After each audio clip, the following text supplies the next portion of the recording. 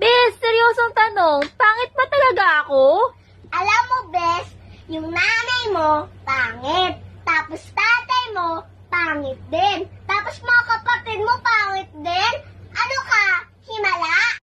여러분, 사랑을 시작하기 좋은 계절, 봄이 오네요. 혹시 연애하고 계신가요? 사랑은 멀리 있는 게 아니래요.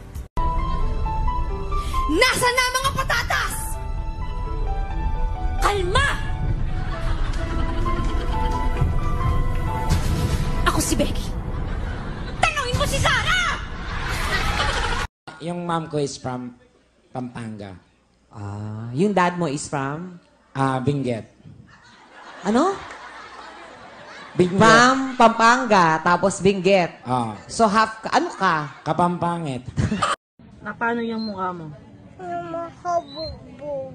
Ano? Habugbog. Binugbog ka. Sino nang bugbog sa'yo? Berna. Si Berna. Asan si Berna? Hala. Asan si Berna? Pupo. Eto. Tingnan ang daming tao sa restaurant. Oo, nag-cause nga ng commotion. Anong eh. sabi mo? Basta nagkagulo. Anong sabi? Nagsisisigaw. Anong sabi? Sige, subukan mo maglayas. Maglalaslas ako. Anong sabi mo? We, magpatuloy nga. Di mo kaya. Last-last pa.